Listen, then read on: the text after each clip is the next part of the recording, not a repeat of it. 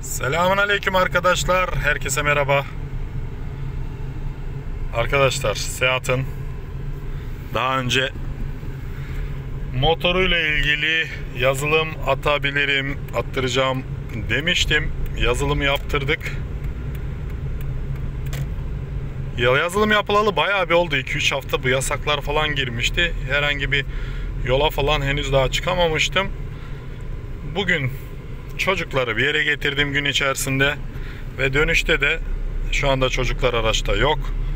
Aracın gidişini az da olsa böyle yoklayacağız. Bir değişiklik var mı yok mu? Onu söyleyeceğim. Tabii ki gönül isterdi ki hani e, öncesini sonrasını çekelim, sıfır yüzünü gösterelim falan ama maalesef böyle şeylere zaman olmadığı için kendi hissiyatım nedir? Nasıl bir gidişi var? Onu sizlerle paylaşacağım fakat Liman Mahallesi'nden çevre yoluna bir çıkayım. Buraları takipçilerimizin çoğu tanıyor, biliyor. Yani Antalyalı olmayıp buralara gelen de çok olduğu için özellikle yurt dışındaki gurbetçilerimiz yaz aylarında genellikle bu taraflara tatile geliyorlar ve biliyorsunuz, tanıyorsunuz zaten. Şuradan biz Isparta, Manavgat, Alanya yönüne döneceğiz. Burdur, Alanya şurası. Yönüne döneceğiz. Ve orada devamında da şöyle hafif bir yoklayalım bakalım kurallara uyarak diyelim fazla böyle tehlike içermeden. Ben hız yapmayı seven birisi değilim. O zaman diyeceksiniz ki usta niye yazılım attırdın araca? Hani arada bir de böyle uzun yolda sollamaya falan geçtiğimizde daha canlı olsun diye yaptım bunu. Şu anda aracım 4'te onu bir 3'e alayım önce. Ondan sonra bakalım ya da böyle de iyi ya. Yok ben 3'ten deneyeceğim. Biraz şimdi hızı kısacağız. Ondan sonra 3'ten deneyeceğiz. Şu araçlar falan bir gitsin. Bakalım tepkimesi nedir. Hatta direkt kalkıştan da deneyebiliriz. Biraz zor olacak biliyorum. Şimdi tepkiler alacağız. Usta tek elinde kamera araç kullanıyorsun diye ama arkadaşlar inanın yeterince dikkat ediyorum. Yani tehlike içerecek bir şey yapmayacağım. Yapmıyorum zaten. Sadece kameranın ekranına dahi bakmıyorum. Sadece elimde tutuyorum. Sizler beni duyun, yolu görün diye. Şu ilerideki virajı geçeyim. Oradan sonra ufak bir yoklama çekelim bakalım nasıl olmuş. Yazılımın faydası olmuş mu yoksa bunlar hürafa mı? Evet yazılıma bu tarz şeylere aracın orijinalliğini bozan şeylere ben karşıyım. Fakat arkadaşlar bahsettiğimiz araç 2001 model 1.9 dizel. Bu araçta partikül filtresi yok. Elektronik enjektör sistemi yok. Eski manuel enjektör bunlar. Yani sıkıntısız. Ondan sonra EGR sistemi çok eski bir sistem. Manuel olarak çalışan. Ondan dolayı pek bir şeyini etkilemeyecek bu aracın. Yani bilginiz olsun bu konuyla alakalı ya usta sen hani karşıydın böyle şeylere ne oldu falan demezsiniz herhalde ya. Fazla önyargılı davranmayayım ben yine. Şöyle ikinci vitesten direkt kalkacağım. Evet. Şu anda dip gaz yaptım. Bakın hop 1800'de sağlam açıyor şu anda. Önceden 2000-2100 gibi açıyordu turbo. Şu anda 1800'lere indi ve gidişi gerçekten bayağı bir hissettirmiş. Evet. Şu anda 4'te sanki 2'deymiş gibi gidiyor. 140 daha fazla basmayalım. gerçekten faydası olmuş. Onu hissedebildim. Gelirken de hafif yoklamıştım. Kamera açık değildi. Çocuklar vardı araçta. O zaman da hissettim ki bayağı bir şeyler değişmiş. Çünkü araç 110 beygir ve staj 1 ile 160 beygire çıkartıldı. Yani 160 beygirlik bir 1.9 TDI polomuz olmuş oldu. Bakın 4'te asılıyorum. Anında tepki gösteriyor. Dördüncü viteste anında tepki gösteriyor. Devri biraz daha 2000'e kadar düşüreyim. 2000'den sonra bir daha asılalım. Yol evet düz bir yol. Kabul ediyorum. Şu anda asıldık. Hiç fena değil. viraj var. 2600'de tekrar sıkıyoruz. Hıza bakabilirsiniz. Vites 4. Yani şöyle söyleyeyim ben o 160 beygir hissini vermiyorsa da dahi 150 beygirin hissini gerçekten ben hissedebiliyorum. 160 direkt 160 beygir olmuş bu diyemem belki ama gerçekten gaz dolu dolu. Turbonun daha erken gelmesiyle zaten bu gerçekleşti büyük ihtimal. Öncesinde turbo 2000-2100 gibi geliyordu. Şu anda turbo 1700-1800 gibi direkt geliyor ve eğlenceli bir şey olmuş. Pekala yani bu yazılım yapıldığı zaman nelere müdahale ediliyor da bu şekilde oluyorsundan biraz bahsedeceğim arkadaşlar. Şöyle nelere müdahale ediliyor? Arkadaşlar datalarla oynanılıyor. Yani normal standartlarda atıyorum yakıt sıcaklığını 90 derece gösterecekken işte 70 dereceye çekiyorlar.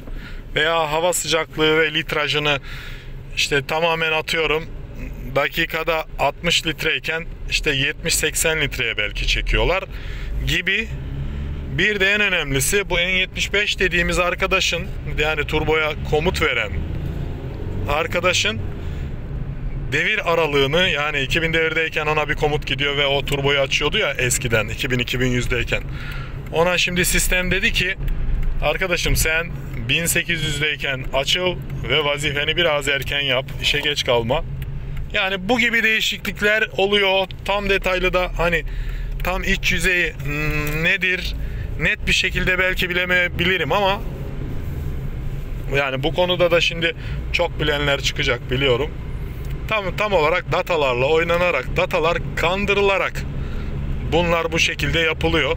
Datalarda değişiklikler yapılarak işte 2000 devirde açacak turbonun 1800 1800'de açtırılması gibi işte içeri giren hava litrajının ve derecelerinin yakıt derecesinin ve litresinin şeklinde bunları değerlerini değiştirerek değerleriyle oynayarak yapılan bir yazılımla biz yüksek devirler, yüksek hızlar, performanslar alıyoruz.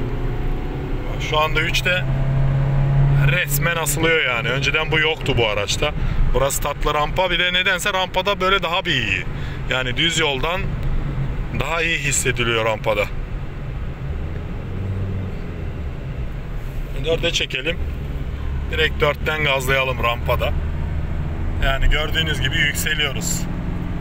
Alçalmıyoruz, yükseliyoruz rampada. Direkt 4'te. Yani eski model araçlarda arkadaşlar bu PD motorlarda olsun bunlarda olsun bence yazılımın bir sakıncası yok. Yapılabilir, kullanılabilir fakat şöyle de bir şey var ki yazılımdan yazılıma inanın o kadar çok fark var. Hatta ben onu şöyle izah edeyim size. Şimdi eskiler iyi bilir. Benim emsallerim ve benim büyüklerim iyi bilirler ki eskiden kaset böyle satılırdı. Orijinal kaseti vardı onun bir de korsanı çıkardı sonra kaçak olanları. Orijinal kasetten aldığımız ses kalitesini korsan olan kasetten alamazdık. Daha kalitesiz olurdu ama daha ucuz olurdu. Yazılım işi de tamamen bunun gibi bir şey. Yani yazılımın da böyle çok temiz orijinal bir yazılım olması önemli. Her önünüze gelene yazılım yaptırmayın. Her yazılım yazılım değildir bazı yazılımlardan kaynaklı aracınızın motorunu dahi yersiniz arkadaşlar. Yanlış yapılan bir yazılımla atıyorum açtı turboyu kapatmadı. Ne olacak? O motor gider. Yani piston da kırabilir, turbo da patlatabilir. Her şey yaşayabilirsiniz. Yani yazılım da çok önemli. Yaptırırken hani daha önce yaptırmış, denenmiş, böyle tecrübelenmiş birilerine yaptırmanız, böyle ciddi firmalara gerçekten yaptığı işin arkasında durabilecek firmalara yaptırmanızı açıkçası şahsım adına tavsiye ederim arkadaşlar. Çünkü ben yazılıma karşı olduğum halde benim bu yazılımımı yapan arkadaş Ümit Infinity Performans burada Antalya'da yani resmen çocuk beni ikna etti bu konuda. Abi işte şöyle abi bu şekilde olur şeklinde anlattı, izah etti. Ben de baya baya ki zaten kendim sordum ya biz buna yazılım atsak nasıl olur? Yazılım yazılım diyor herkes ama ben hiç deneyimlemedim.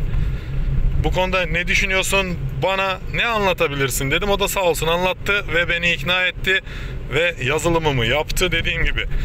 Bu yolu aynı şekilde giderken de biraz hafiften yokladım baktım bayağı faydalı gibi geldi ve sizlerle paylaşmaya karar verdim ve Ümit'in söylediği bir de şöyle bir şey var arkadaşlar yakıtın düşeceğini söyledi. Şimdi şöyle mantığımız direkt şuna gidiyor.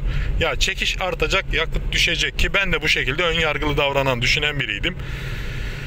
Şimdi şöyle çekiş yükseldiği zaman bu da demek oluyor ki motoru yani daha fazla enerji harcıyor demek oluyor. Fakat enerjiyi bir nebze de olsa doğru harcatıyoruz gibi geliyor bana. Bu arada klimam da açık arkadaşlar. Onu da söyleyeyim.